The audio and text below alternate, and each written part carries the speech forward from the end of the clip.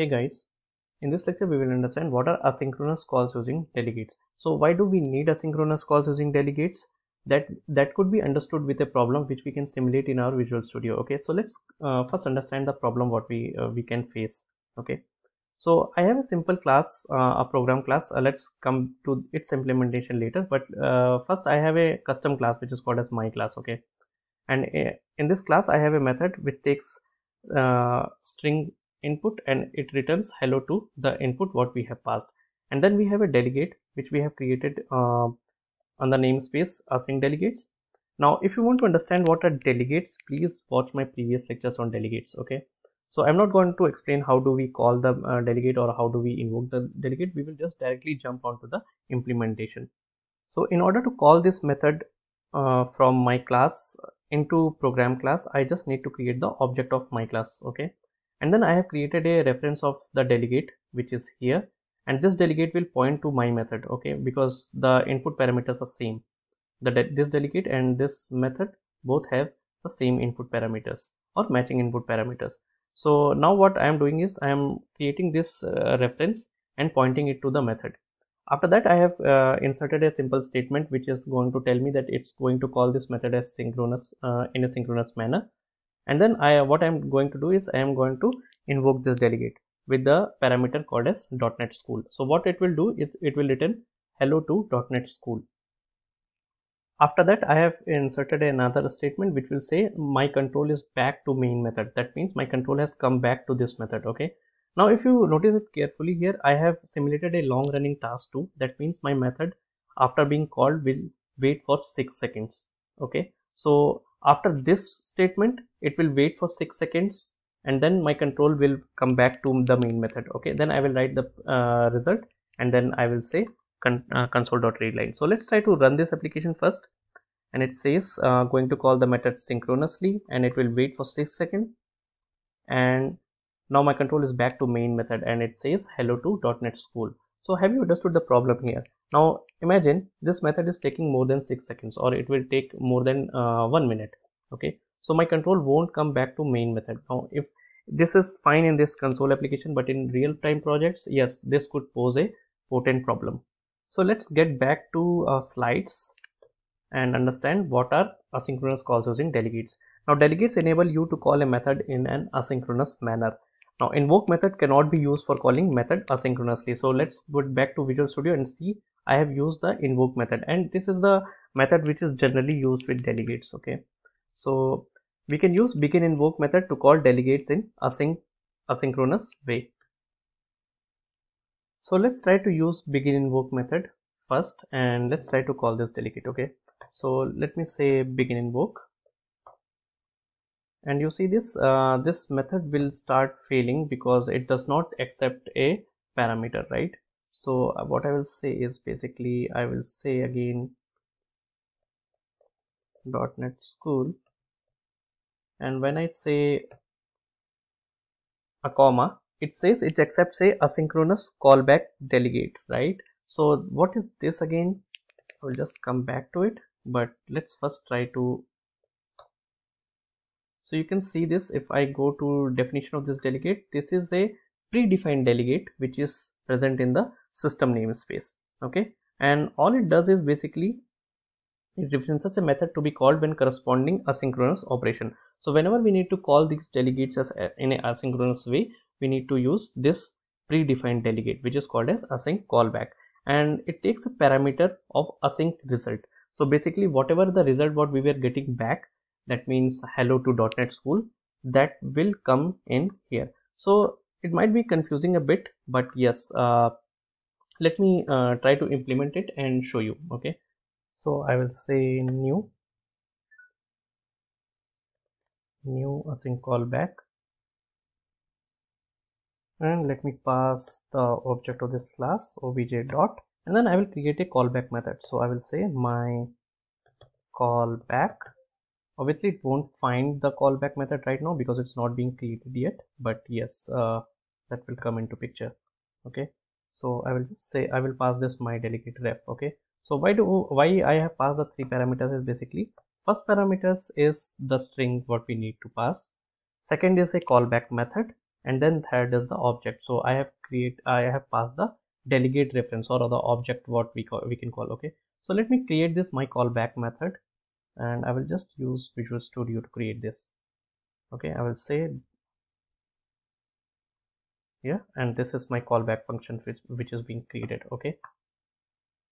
Now you notice this the parameter which is taking the callback which is taking the parameter is again it's taking async async result ar so this is what being explained in here right? So this asynchronous callback delegate whichever uh, method it's being pointed by this delegate. It will also take a uh, parameter which is type of async uh, i async result okay? Because uh, whenever a delegate has to point to a method the parameters should be or the signatures of those two delegates and the method should be similar okay? So this method will also take this async uh, uh, i async result okay?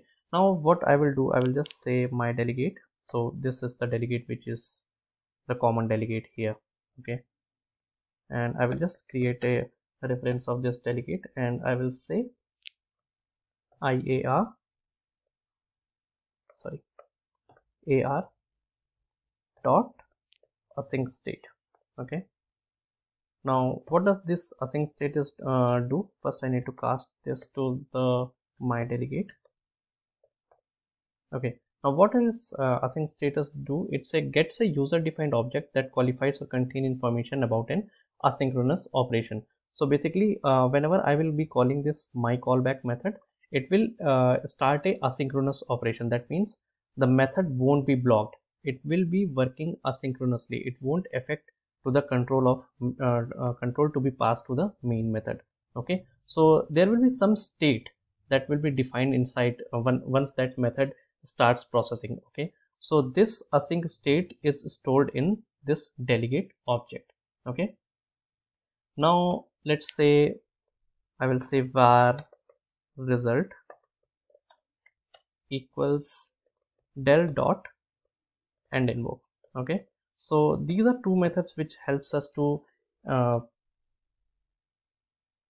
achieve asynchronous operations okay? So end invoke and begin invoke so just try to understand uh, uh, via that definition what microsoft has provided. So it it starts um, the the process okay? Begin work starts the process of asynchronous operation.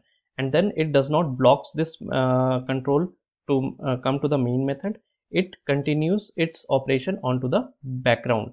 So how do our control know that uh, okay this uh, task has been uh, finished and now our control can come back to our method okay with the help of end invoke so end invoke will uh, return a result. That means hello to .NET school will be written with the help of end invoke okay? And this is just the mm, while the task is ongoing uh, the status which is stored there. Okay? So begin invoke then the status which is ongoing and then the end invoke you can understand in this chronology right?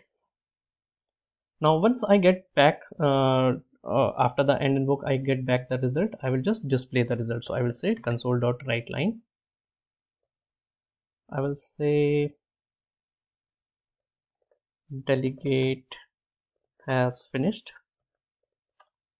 And result are or you can say result is I will just append it the result. Okay and then I will say console dot write line async call is finished. So I am just uh, inserting this statement just to make you understand okay? So I will just debug this program for, uh, later but let's first try to run this application and see if this is being hang for six seconds or not okay? So let's try to run this. So let's try to run that and see it does not wait for six seconds. It says going to call the method synchronously. I have not changed the message. And then it comes back immediately to the main method. After six seconds the background thread has finished and the result is hello to .NET school. And async call is finished. Now let's try to do the same thing with the help of invoke method again okay? And let's try to see if this is making sense or not. So i will say invoke again. I don't need a callback because uh, invoke does not take this callback right? So i will just remove this. I will comment out this and i guess we're good to go. So let's try to run this again and let me increase this simulation time right? So i will just say it's 10 seconds. And now let's try to run this. Okay. So going to call method synchronously and it's waiting for 10 seconds to control to come back to the main method okay. Okay. Now after 10 seconds has been passed now my control is back to main method and it says hello to .NET School. So again uh, so it called it it called the function here. It waited for 10 seconds. After 10 seconds the control is back here and then it uh, gave me result as hello to .NET School right? So I, it will give me hello to .NET School correct. Now let's uh, again change this scenario here because we have increased the simulation time so yes we need to see it. Now let's try to run this again. Okay. Going to call the method synchronously. Now my control is back to main method and the method is being processed in the background with the help of begin invoke end invoke and async state. Okay. After 10 seconds has been finished delegate has finished and result is hello to .NET school. Right? So is it blocking the main method? Now suppose uh, say suppose instead of this statement there would be some other other method right? Here some other method which would update uh, a database right? So our updation to the database would have been blocked because of this 10 seconds or a long running task. So that is why we needed a asynchronous call right? So let's get let's get back to our slides and see delegates enable you to call a method in an asynchronous manner. Invoke method cannot be used for calling method asynchronously. That we have already seen.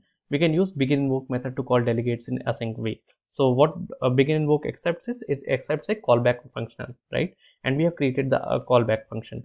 Begin invoke method is called the common language runtime. Queues the request and returns immediately to the caller. So i guess i have messed up the statement here. I will just uh, paste the right statement uh, in the end of this uh, presentation okay now this whole process is assisted with predefined delegate called as async callback delegate which accepts async result as a parameter so this we have already seen okay so I hope you understood the asynchronous calls using delegates. If you have any doubt, please leave me a comment and I'm gonna solve your doubt very quickly. Thank you so much.